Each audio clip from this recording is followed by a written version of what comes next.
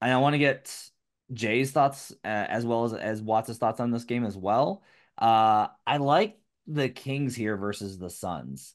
I like the matchup in terms of Sabonis and Fox and the speed. I like how the Kings defense plays better on the road. Um, I think the Suns hit kind of like they were on the upswing, and I feel like that Warriors game is a good emblematic of like, hey, they may have like crested a little bit, and even if it's just like a small dip, they might be in due, due for a small dip here. Uh, I make this only Suns minus two, so which isn't necessarily surprising. I, I probably need to downgrade the Kings a little bit, even though I'm pretty skeptical of them.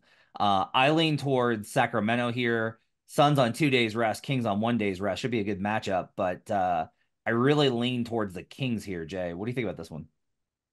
This is a tough game for me. Um, I don't, I don't necessarily think the Suns are going to crater. In my opinion, I think they're the way they start the season. They're only going to continue to move up. I mean, this is a top three team in the Western Conference. No matter what uh, people don't really think so, I think that they're going to finish in the top four for sure and have home court advantage. But uh, the Kings, this is their game. Remember, they were I had, I was on the Suns last time, and they were laying around the same number, and the uh, Kings are up like twenty with like eight minutes to go, and they lost that game. So I'm so I'm sure the Kings are going to be pissed. They do. You're right. They do have have the speed matchup with Fox and Sabonis, so they have some matchup advantages here. But um, I just don't. I don't think the Kings are that good. I really don't. I think that this team is nowhere near as good as they were last year. Teams are on to them now. They're not surprising anyone. And the Kings, another team, call me crazy, wouldn't be surprised if they missed the playoffs. So, but it is a good matchup for them, Matt. But uh, I don't think that the Suns are going to crater down. That's just my opinion.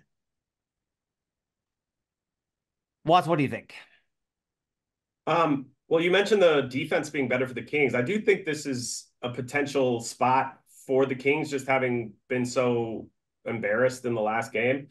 But I wonder if maybe the look is the under. If if the un because I you know do you see the Kings?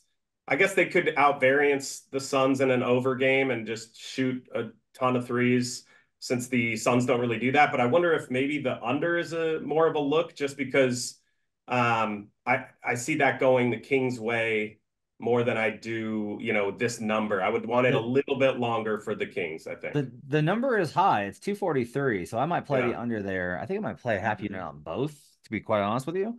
In part because uh, I do have a trend here.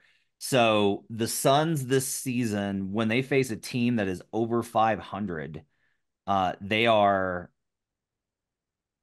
Wow. Uh, they are 6, 13, and 1. So opponents against them are 60. If you're over 500 and you face the Suns, 68% ATS. Um, they've been good. And that's even that's and three of the last four even in that spot. So one of the reasons that the Suns kind of turned around is their schedule eased up. Um, yeah, I think I'm gonna. I'm. I like the underplay there too, based off of that Kings under trend, right? Of uh, the defense being better on the road that I always talk about. So yeah, I'm gonna play the under and the Kings. I might do a same game on this too. I'm gonna throw in a same game parlay. Last days before All Star break. Let's let's get wild. It's gonna be great.